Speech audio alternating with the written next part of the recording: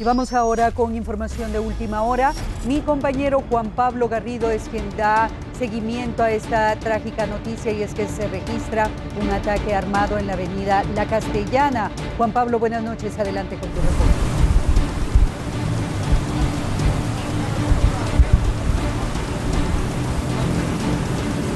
Gracias Corina, buena noche. Lamentable información que podemos compartir esta noche de lunes y es que un incidente armado ocurrido en la avenida La Castellana y Sexta Calle de la zona 8 de la ciudad capital cobra la vida de una persona de sexo masculino de aproximadamente 27 años, según el reporte preliminar que han dado a conocer socorristas de bomberos municipales quienes se acercan a este lugar y se percatan que la víctima presentaba varios disparos en su cuerpo, entre ellos en la cabeza.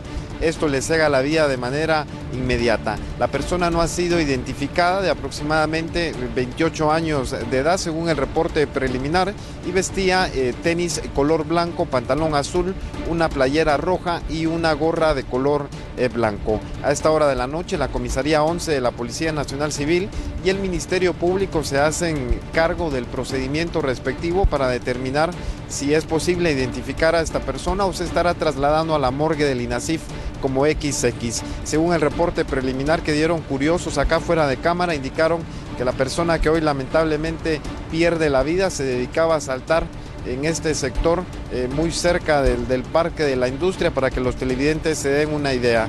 Eh, según la hipótesis de la Policía Nacional Civil, el ataque en contra de esta persona de sexo masculino fue de manera directa, ya que presenta por lo menos un disparo por arma de fuego en la cabeza, lo cual le cega la vida de manera inmediata. El Ministerio Público ya se encuentra eh, presente y se realizan las investigaciones correspondientes para determinar quién le ha causado la muerte a esta persona de sexo masculino.